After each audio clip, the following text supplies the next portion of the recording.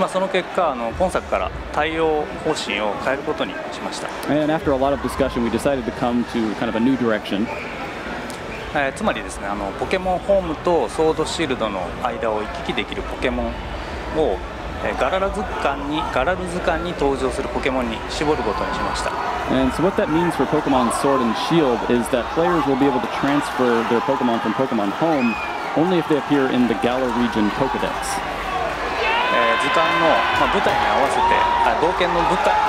ごめんなさい、えーと、冒険の舞台に合わせて、えー、こだわって登場するポケモンを、えー、決めています。So we were very careful. We spent a lot of time really thinking what the best selection of Pokemon to match the setting of the adventure would be.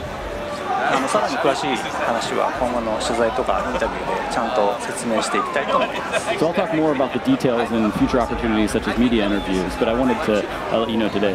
ただあのポケモンバンクをご利用してくださってるファンの皆さんには少しでも早くお伝えしたいなと思って本日はお伝えさせていただきました。I know there are a lot of users of the Pokemon Bank service who are looking forward to Pokemon Home, so I wanted to let them know what the change would be well in advance.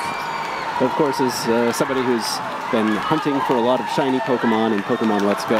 Um, any of those Pokemon that do appear in Pokemon Sword and Shield, I'll still be able to transfer uh, from Pokemon Let's Go into Pokemon Sword and Shield through Pokemon Home. まあ、レッツゴー企画、レッツゴー EV であのたくさん色違いのポケモンを探してあの捕まえているんですけれども、はい、まあ、それらのポケモンがガラル図鑑に登場するのであれば、えー、ホームから、えー、